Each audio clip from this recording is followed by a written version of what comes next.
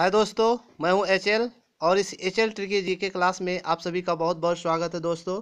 इतिहास का सबसे महत्वपूर्ण तथ्य लेकर हम हाजिर हैं एक बार फिर से। इसमें हम पढ़ेंगे किस शासक की मृत्यु कब और कैसे हुई।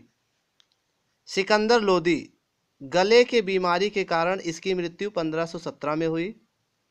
दूसरा, इब्राहिम लोदी पानीपत के प्रथम युद्ध में बाबर से हारा और वहीं मारा गया 1526 में। बाबर से संबंधित।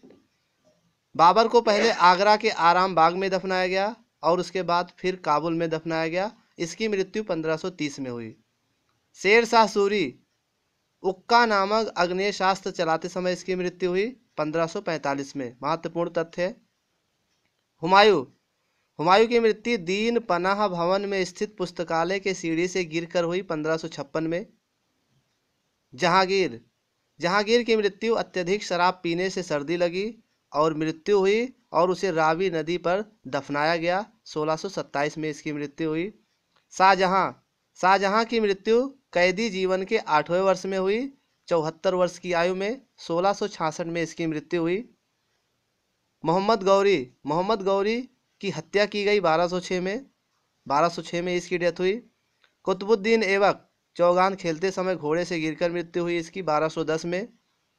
गयासुद्दीन तुगलक, जूना खां द्वारा निर्मित लकड़ी के महल में दबकर इसकी मृत्यु हुई 1326 में।